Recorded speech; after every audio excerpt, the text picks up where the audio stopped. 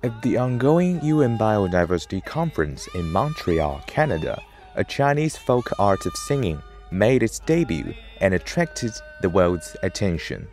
Hai Cai Qiang, or Seaweed Tune, is a primitive folk tune created by people of Yi ethnic group who live around the picturesque Yilong Lake in southwest China's Yunnan province.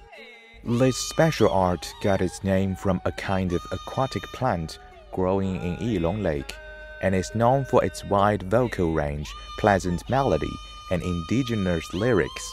It was included in China's National Intangible Cultural Heritage List in 2006.